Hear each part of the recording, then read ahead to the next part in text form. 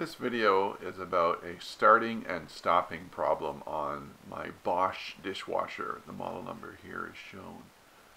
I'm going to walk through doing a few tests with and without water to demonstrate the difference of uh, how this problem occurs. First we're going to start with half a liter of water in the sump. So to do this I measured out 500 milliliters of water poured it into the bottom of an otherwise empty dishwasher, and started the cycle. You'll hear the pump start and stop as it tries but fails to pump out very much water.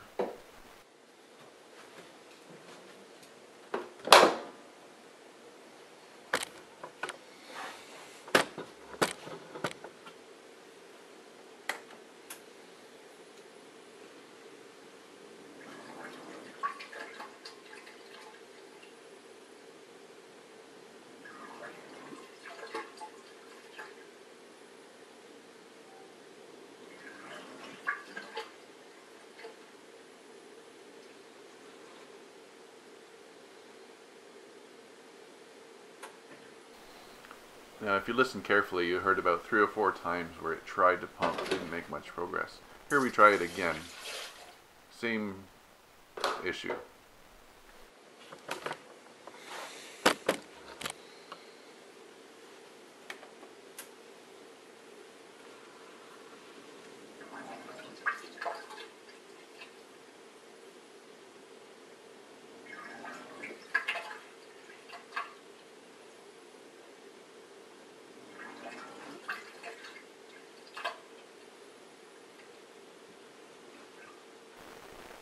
We're going to try it one more time. This is the third try.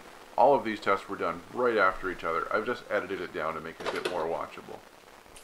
If you can call watching a dishwasher watchable.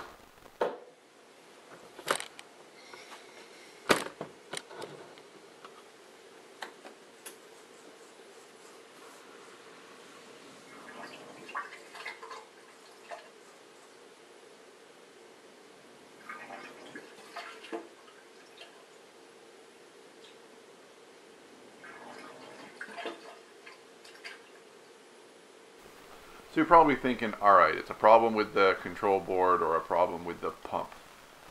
But watch what happens when only half a liter of water is put in. Listen carefully to the pump once it actually makes it to the bottom of the sump and it gets rid of that, uh, what, 250 mils.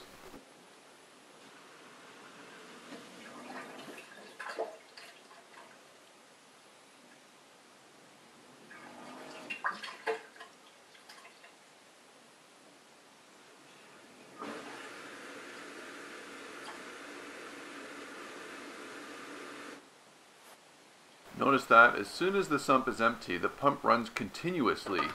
We're going to do it again with the same amount of water.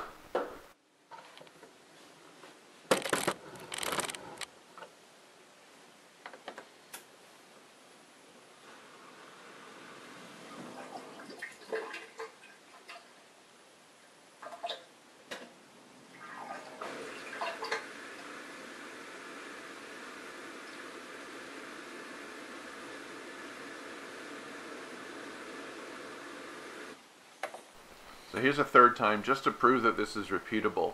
As soon as it makes it through 250 mils of water, you hear the pump running continuously as it's sucking air.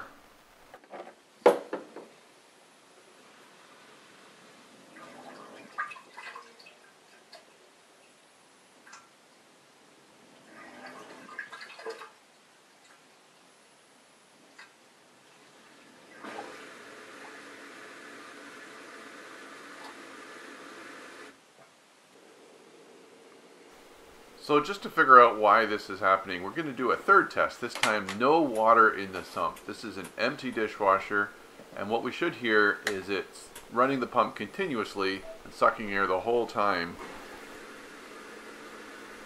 because it actually has no problem running the pump. The control board is activating the pump and the pump runs continuously. It just doesn't do so if there's water in there.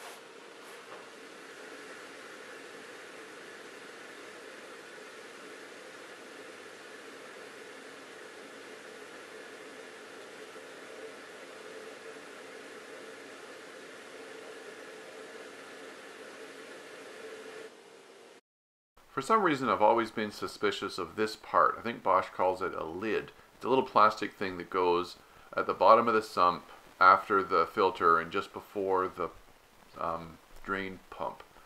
And it kind of clicks into place. I've always been suspicious because it tends to wiggle about and I've noticed in the past when I've sort of wiggled it and tried it again, I seem to get either better or worse results. But when making this video, I took it out and when I put it back in, I found with a lot of force, I could kind of make it click into place in a way that has never really felt it before. So right after doing that, unfortunately, I didn't get it on video, but after clicking it into place, everything works.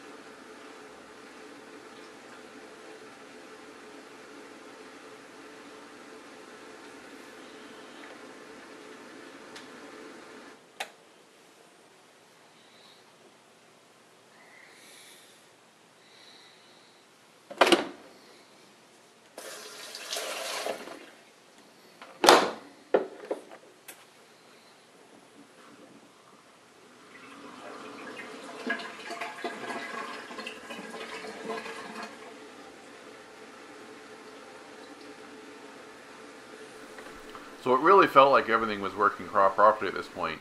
So to really make sure, let's try it with a lot more water. Here's uh, a couple of liters worth and we're going to fill the whole sump up. So we're going to add two jugs of this, so four or five liters of water, which is what you'd have in between cycles if the dishwasher was running normally. Let's see how it does pumping this much water out.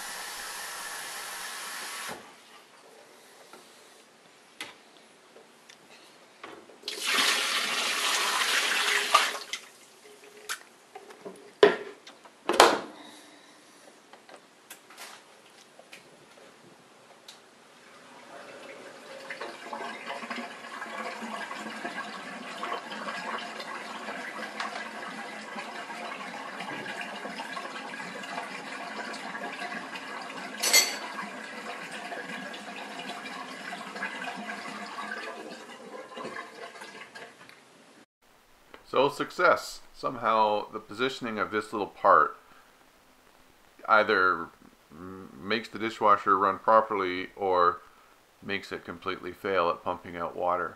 Perhaps it makes a seal around the pump or something and, and somehow the motor or the control board is able to tell if it's got that seal and it starts and stops the pump until, uh, I don't know, until it gives up. But the starting and stopping phenomena seems to completely go away when this part is installed correctly.